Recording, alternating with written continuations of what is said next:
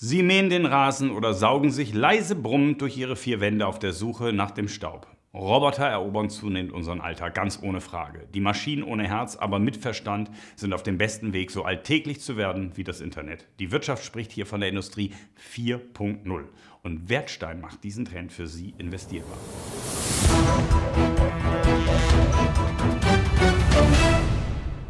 Wir stellen Ihnen heute den Wertstein-Zeitgeist Robotertechnik vor. Es ist eine der wachstumsstärksten Bereiche der Welt. Die Branche soll im kommenden Jahrzehnt viermal so schnell expandieren wie die Weltwirtschaft. Vorreiter sind dabei Länder wie Japan und China, aber auch Deutschland spielt ganz vorne in der Liga mit.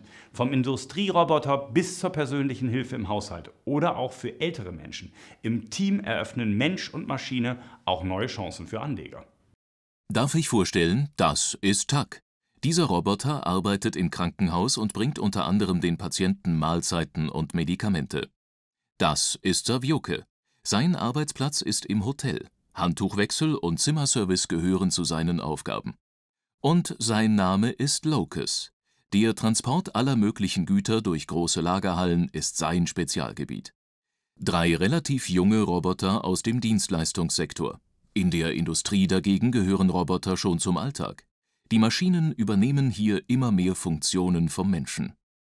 Robert Ruttmann, Wertstein-Institut Fellow in Zürich. Wo stehen wir in dieser Entwicklung?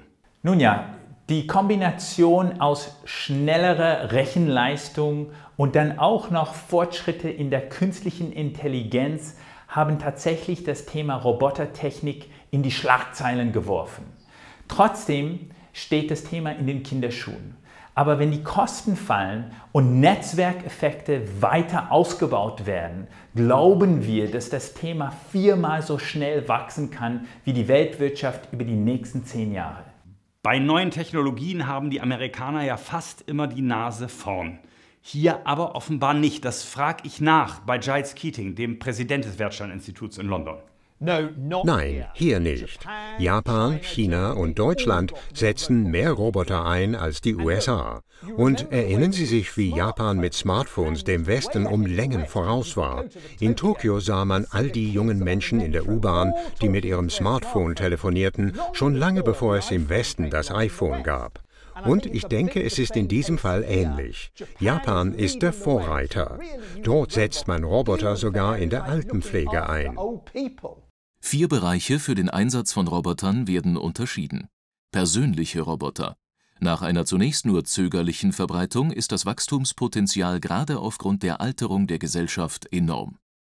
Haushaltsroboter.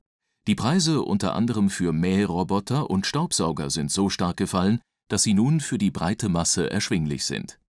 Industrieroboter sind längst nicht mehr nur in der Automobilindustrie zu Hause. Die Elektrotechnik, die metallverarbeitende Industrie und die Chemie und Kunststoffbranche fragt die Technik nach. Und die sogenannten Cobots. Sie arbeiten gemeinsam mit dem Menschen, um die menschliche Leistungsfähigkeit zu verbessern und können so Aufgaben gemeinsam ausführen, die der Mensch sonst nicht allein bewältigen könnte. Und nun nach Frankfurt zu Robert Halver, Kapitalmarktanalyst der Bader Bank. Ist die Branche für Sie als Investment interessant?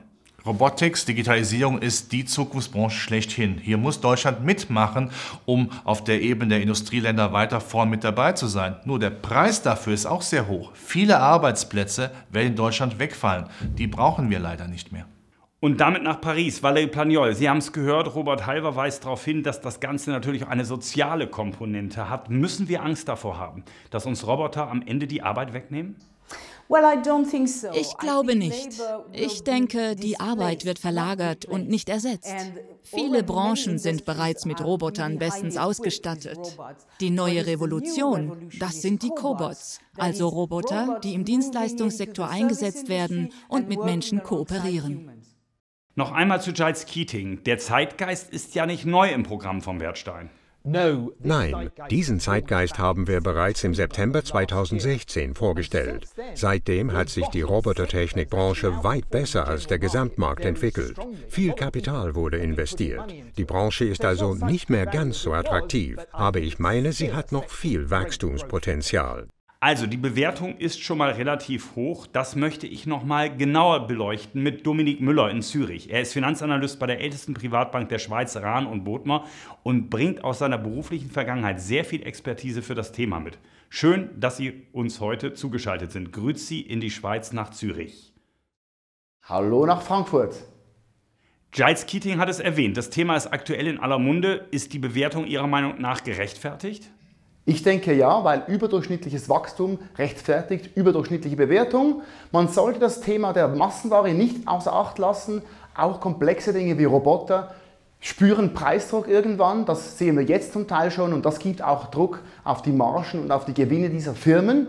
Und nicht alle, auch im Robotikbereich, können sozusagen die Apples sein, die wegen der starken bekannten Marke ihre Margen über die Zeit auch verteidigen können. Danke Dominik Müller nach Zürich. Stellen wir uns mal Folgendes vor. Während Roboter 1 den Rasen mäht, saugt Roboter 2 das Wohnzimmer, während Roboter 3 den Kleinen die gute Nachtgeschichte vorliest. Nein, letzteres wollen wir nicht wirklich. Aber wollten wir vor 20 Jahren nur noch mit dem Smartphone unterwegs sein? Trends lassen sich nicht wirklich aufhalten, so auch dieser nicht. Wenn Sie zumindest als Investor schon mal dabei sein wollen, fügen Sie den Zeitgeist Robotertechnik jetzt Ihrem Portfolio hinzu.